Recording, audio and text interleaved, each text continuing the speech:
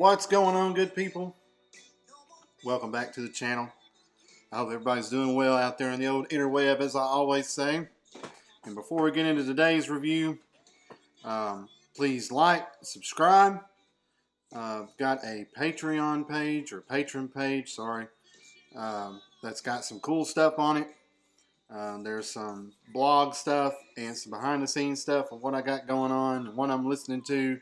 If you're interested in that, hit that up. Let's get a community of like-minded music lovers going. Um, let's start a few conversations. Let's get that going.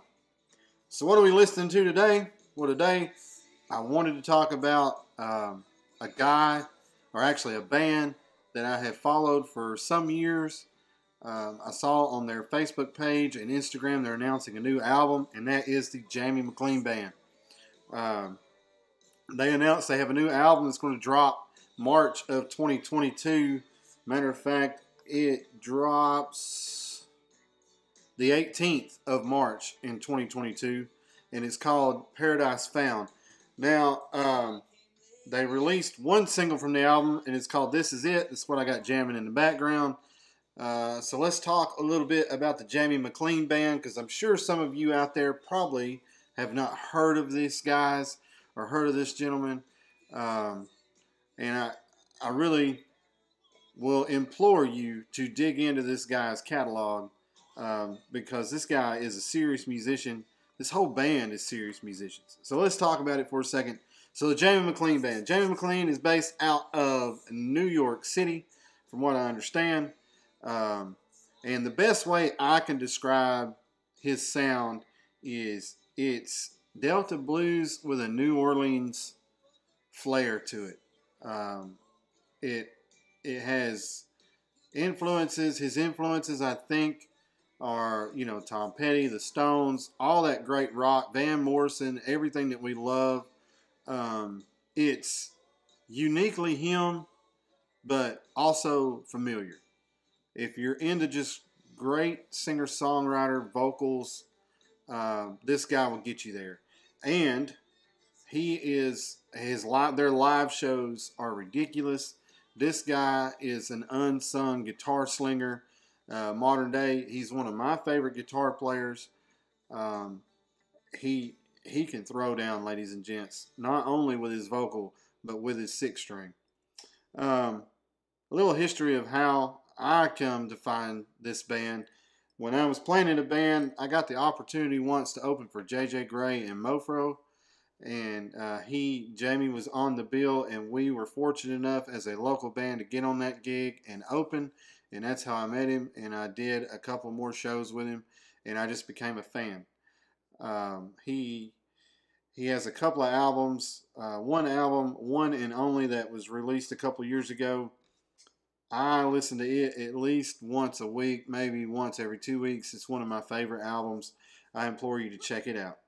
But Today we're talking about the single This Is It off of Paradise Found. It's the follow up. This album will be the follow up to, uh, they did an album called the New Orleans Sessions. Uh, that was released in 2019. It's got a lot of covers on it. Uh, there's some killer tracks on that album. Uh, but as far as um, studio original stuff. This is the follow up to One and Only, and One and Only was released in 2018. So it's exciting to hear some original music coming from these guys. So let's talk gear for a second. On this current track, because we always talk gear, right? So the track that I'm talking about today, I hear um, a lot of acoustic. I hear uh, some electric. So acoustics, I'm not sure what Jamie's jamming right now. I did a little research and looked on YouTube, and it seems that he's rocking some Taylor guitars here lately, uh, which is kind of cool. On this, I'm not really sure what he used um, for his electric playing. Uh, he's mainly a hollow body guy, amplifier wise. Uh, I think, from what I remember, he's always been a deluxe reverb kind of dude.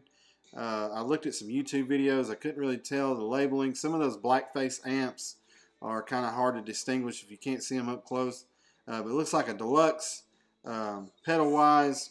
He's very minimalist. This guy does not need a lot of pedals because he can do all his talking with his voice and he can do it with his hands when he plays guitar. Um, I think from what I've seen, I know he's got a tuner. Everybody's got a tuner. Uh, I don't see a wah on his board.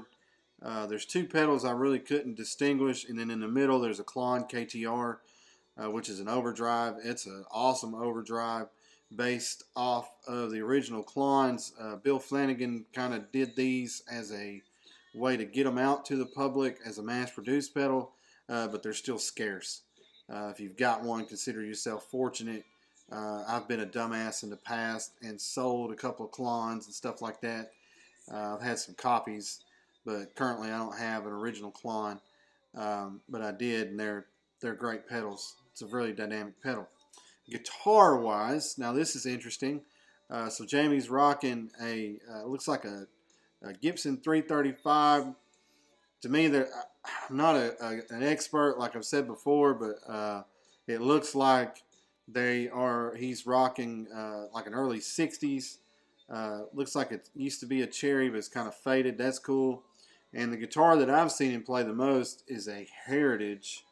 Um, it's a Heritage H535. Now, if you don't know anything about the Heritage uh, Guitar Company, which I'll put some links below like I always do, the Heritage Guitar Companies builds guitars in the original Parson Street Kalamazoo factory.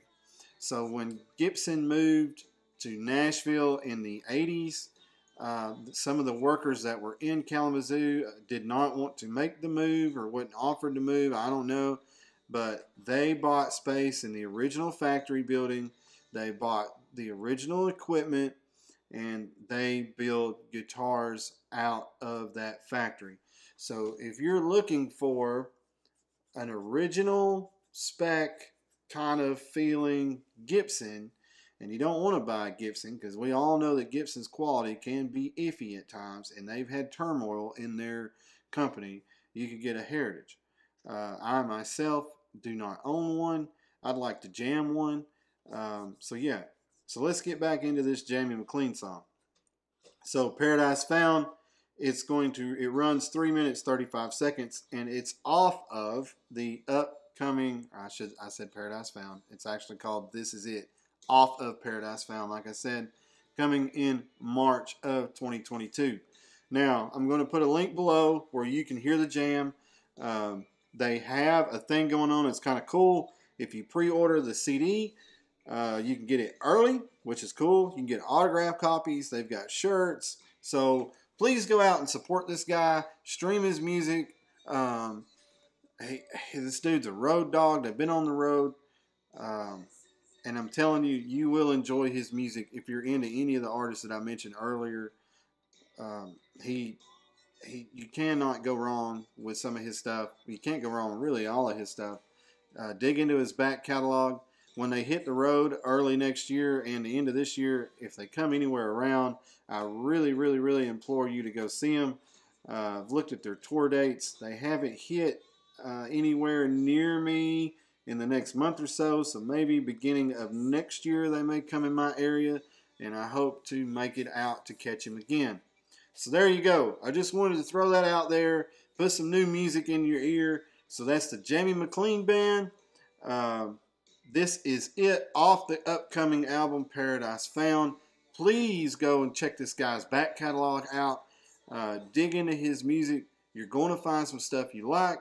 And remember, stay safe, keep rocking, and music is love, and love is music. Until next time, good people, stay safe.